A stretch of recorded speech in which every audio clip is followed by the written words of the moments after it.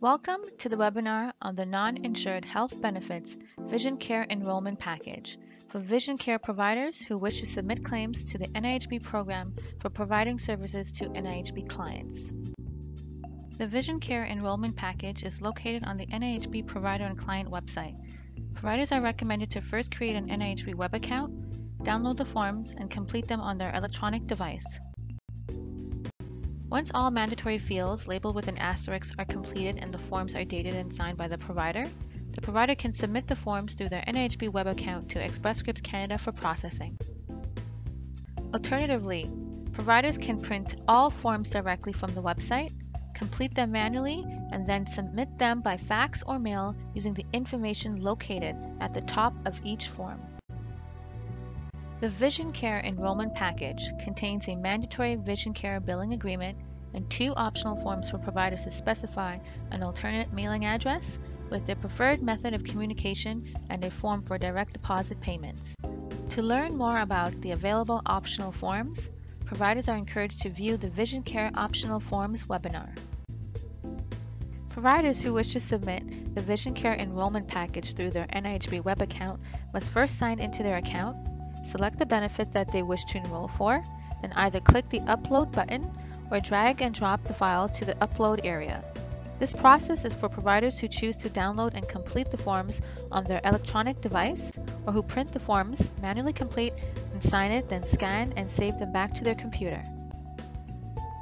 Once the Vision Care enrollment package has been completed and checked for accuracy, the provider must sign page 1 also known as the Vision Care Billing Agreement, using an electronic signature.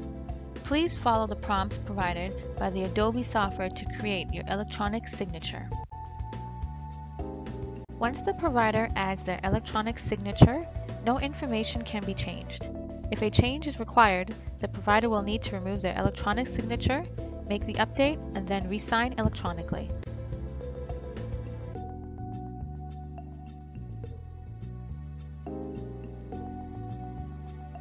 There are a few sections in particular we would like to draw your attention to.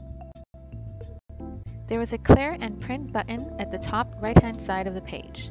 This clear button will clear all fields and set the entire Vision Care billing agreement back to blank. The print button allows the provider to print the forms. Providers who choose to enroll as an owner must indicate their operating name and legal business name. An example of an operating name is John Doe's Optical.